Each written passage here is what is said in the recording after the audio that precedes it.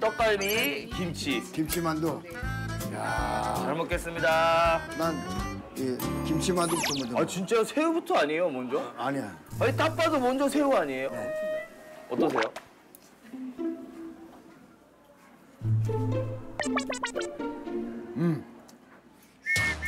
뜨겁죠? 어, 매운 거? 아, 뜨거워. 엄청 뜨거워요. 뜨겁고 맵고. 불타오르는 만두 아니 어,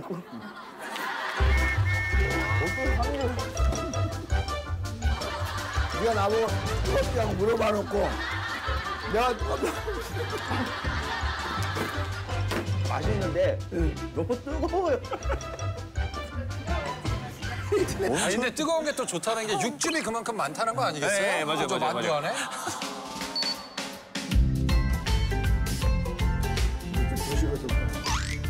시키는 거죠. 네. 근데 시킬 거지. 어, 저건 식어도 맛있겠다. 그래. 떡갈비.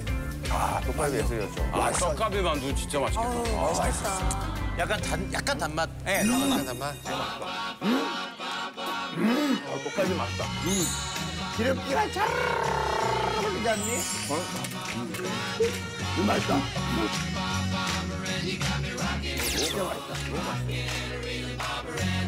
이게 새우, 새우 만두. 요거 맛있을 것 같아, 새우 만두. 아, 이거 맛있어요.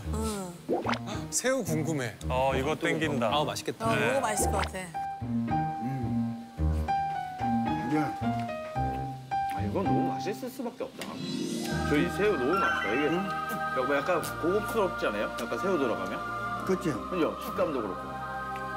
근데 약간 새우 냄새가 나면서 새우가 씹히면서 이게 사장님 새우가 완전히 통으로 들어가 있네요, 그죠?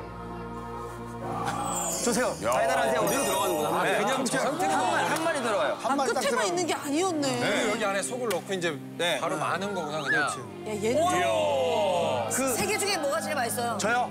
그 새우. 새우. 네, 그래, 새우 역시. 새우. 왜냐면 식감 있잖아요. 새- 새우 식감. 네. 아 그게 더 맛있게 해요. 그 식감을 또 얘는 좀 포장을 해서